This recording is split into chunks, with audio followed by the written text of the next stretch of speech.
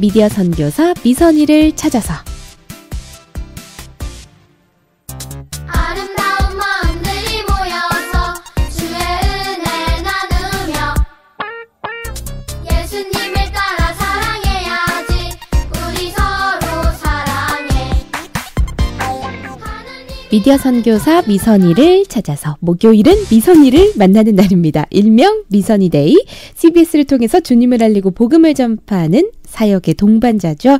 미선이를 찾아서 홍아영 리포터와 함께 합니다. 안녕하세요. 안녕하세요. 흥 많은 언니, 아름답고 착한 언니, 홍언니, 홍아영 리포터입니다. 네, 28번째 오늘 미선이죠. 네, 28번째 미선이, 어, 정말로 파이팅이 넘치는 분이셔서 굉장히 저도 에너지를 받고 인터뷰를 하는 느낌이었는데요. 목소리로 먼저 만나볼까요? 반갑습니다. 저는 경북 안동에 살고 있고요. 학생들의 가슴에 열정의 불을 지피고 싶어하는 심재창 교수이면서 기도 연사를 정말 갈망하고 있는 안동교회 집사입니다. 이제 저희 교회 바로 앞에 그 CBS 건물이 있죠. 그 새벽기도 갈 때며 항상 보는데 제가 CBS하고 특별한 인연들이 없어 보여요. 그래서 제가 앞으로는 이제 CBS와 관련해가 특별한 인연을 만들어 봐야 되겠다. 첫 번째 기도를 해줘야 되겠다. 그 다음에 내가 거기에 할 수 있는 일들을 한번 찾아봐야겠다. 그런 생각을 해봤습니다.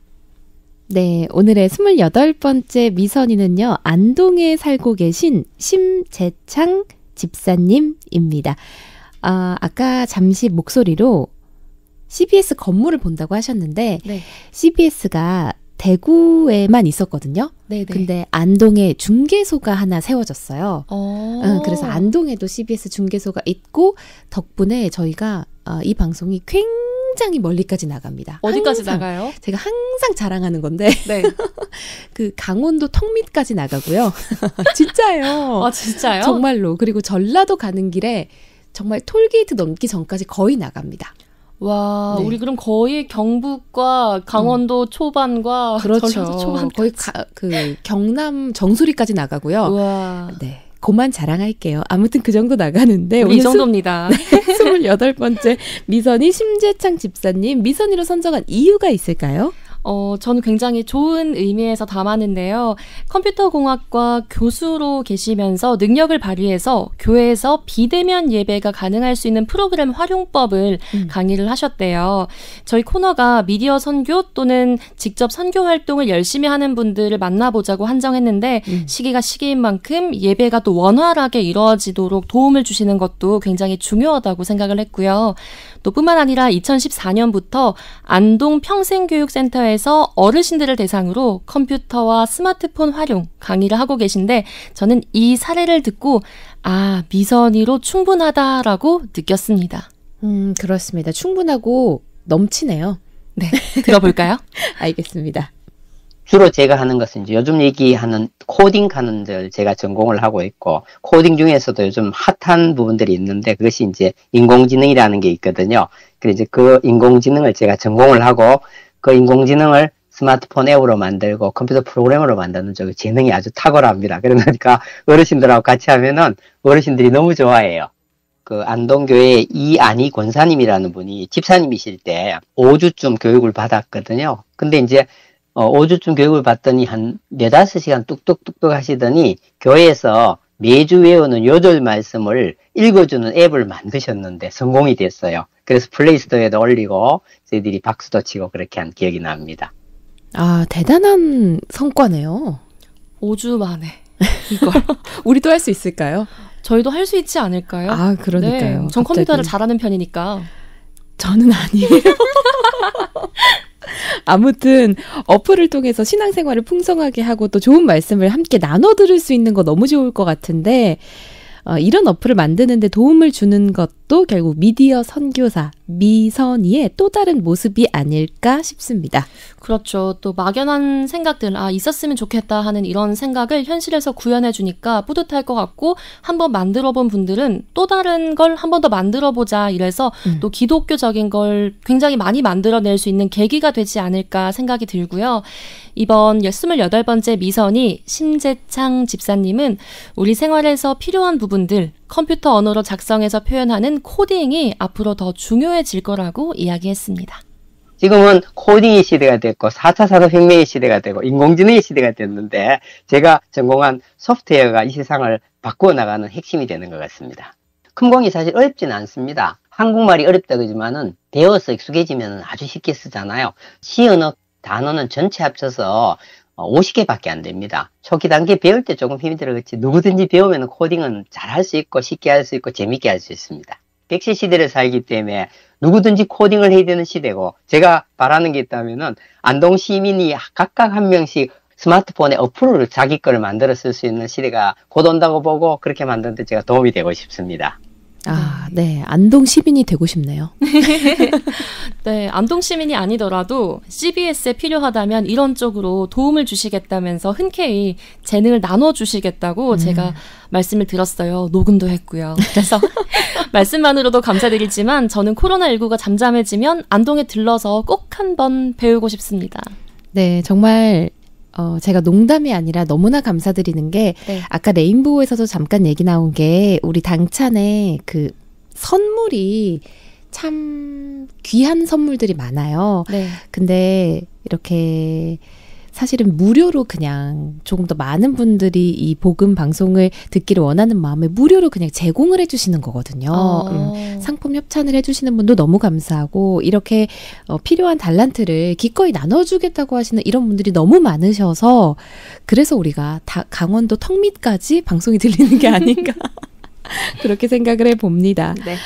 아, 미디어 선교사 미선이를 찾아서 CBS를 통해서 주님을 알리고 복음을 전파하는 사역의 동반자를 만나보고 있습니다. 오늘은 28번째 미선이 심재창 장립 집사님의 이야기로 함께하고 있습니다.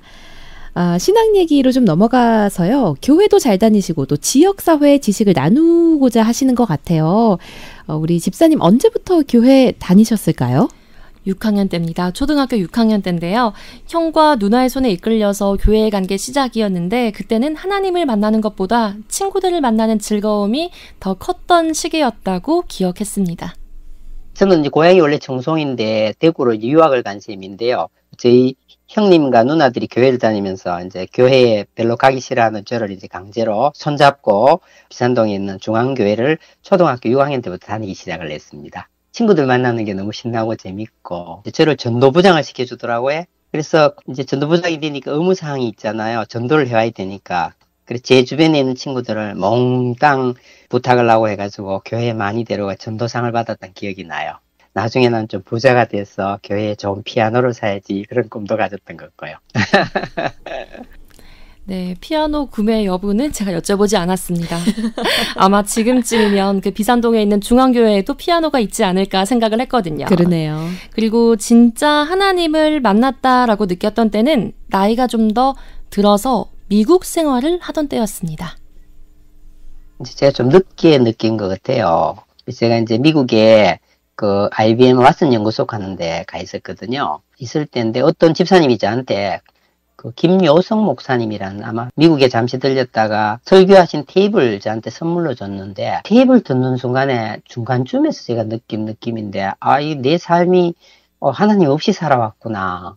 하나님이 진짜 나의 소유주가 하나님이라는 걸 그때 이제 느껴지더라고 가슴도 뜨거워지고 그렇게 해서 그 순간에 제가 이제 하나님을 만난 것 같아요. 그 목사님이 사실은 한센병 환자들을 돕는 그런 목사님이셨는데 살아온 삶 속에서 자기가 느꼈던 하나님을 얘기를 하셨기 때문에 마음 속에서 하나님을 찾고 있던 마음이 있게 되면 그 하나님은 또 만나 주시는 것 같아요.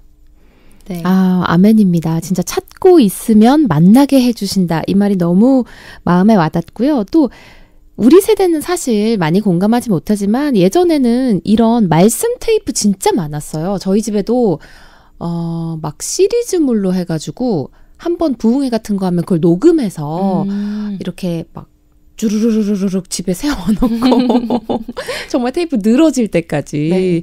계속 들으셨던 그런 기억이 납니다. 네. 어, 맞아요. 그때는 또 테이프가 제일 좋았으니까 맞아요, 그렇게 맞아요. 녹음했지만 지금은 또 영상까지 함께 촬영해서 또 너튜브 같은 데 많이 올리는 분들도 계시잖아요. 음, 이렇게 또 좀 더 생생하게 만날 수 있는 그런 기회가 좀 더 많아진 것 같아서 좋다고 생각을 합니다. 네, 맞아요. 기회 많아진 만큼 또 우리가 많이 구해야 될 텐데 말이죠. 음. 맞습니다. 네. 사실 교회를 다니지만 믿음이 좀 부족하다고 느끼는 분들, 나는 아직 하나님을 잘 모르겠어요. 이런 분들 종종 만날 수 있는데 또 생각지 못한 방법으로 이렇게 만날 수 있으니까 우리가 늘 좀 바르게 지내야겠다 이런 생각도 들었습니다. 그럼요. 아, 이제 심재창 집사님의 꿈. 어, 피아노 사시는 거 말고 네. 다른 꿈을 좀 들어보고 싶은데요. 저는 꿈을 먼저 들었을 때는 주님께 초점이 좀 맞춰진 꿈이라는 생각을 했었고요. 음. 이 꿈들을 이루면 집사님도 정말 행복할 것 같다라고 생각했습니다.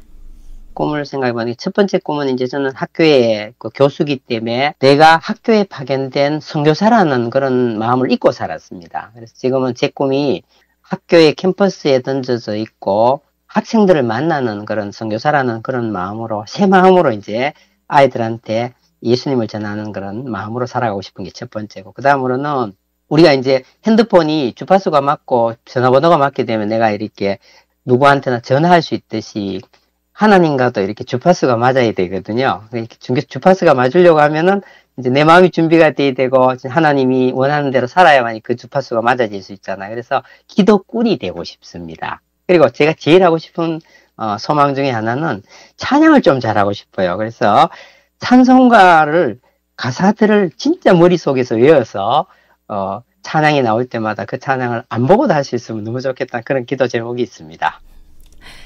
저는 이 꿈들을 들었을 때 첫 번째 꿈은 아 전하면 되니까 음. 두 번째 꿈은 아 기도하면 되니까 음. 근데 세 번째 꿈은 외워야 되니까 정말 어렵지 않나 그런 생각이 들었는데요 그렇게 말씀드리니까 1년 반 정도 지금까지 노력했더니 네. 찬송가의 3분의 1 정도는 외워서 부를 수 있다고 말씀하시더라고요 대단하시네요. 많지 않으시죠 이런 분들 어, 그렇죠. 와- 가사를 그리고 1절만 있는 게 아니라 거의 뭐 4절까지 있으니까 이건 쉽지 않죠. 네. 그렇죠. 근데 지금까지 3분의 1 정도는 외우셨다고 하니 아무튼 이 정도 노력이면 세 가지의 꿈은 모두 다 이룰 수 있지 않나 생각이 음. 들었습니다. 그러게요. 찬송가 가사를 쉽게 외울 수 있게 해주는 어플 같은 거 개발해 보시면 어떨까 생각이 들고요. 네. 저는 두 번째요. 두 번째, 기도꾼이 되고 싶다. 아, 음. 너무 공감합니다. 이 기도에 영성이 있으신 분들이 있더라고요. 음. 저는 아닌데, 그래서 저는 이제 식사 자리에서 뭐, 대표 기도 같은 거, 네. 아, 제발. 제발, 저는 아닙니다. 아무튼 세 가지 꿈 모두 이루시기를 저도 함께 응원하겠습니다. 28번째 미선이 심재창 집사님의 이때 이 찬양 어떤 걸까요? 복음을 전하고자 하는 의지가 강력하게 느껴지는 찬양이었습니다. 예, 제가 이제 찬양을 좀 좋아하다 보니 찬양을 하고 싶을 때가 있으면은 제일 미리 떠오르는 찬양이요. 저 멀리 뵈는 나의 시온성. 저 멀리 뵈는 나의 이게 막 떠올라요. 가사가 너무 좋고 제가 이제 복음도 좀 전하고 싶은 그런 욕망이 있는 것 같습니다. 네. 28번째 미선이 심재창 집사님의 목소리로 저 멀리 뵈는 나의 시온성 추천을 받았습니다. 네, 아, 여기 만약에 옆에 계셨으면 제가 라이브로 좀 요청을 해도 너무 잘 부르실 것 같은데, 오늘은 저 멀리 뵈는 나의 시온성, 향기로운 나무의 목소리로 띄워드려야 될 것 같아요. 28번째 미선이 심재창 집사님이었고요. 이 찬양 들으면서 우리 홍하영 리포터와는 인사드리겠습니다. 고맙습니다. 네, 고맙습니다.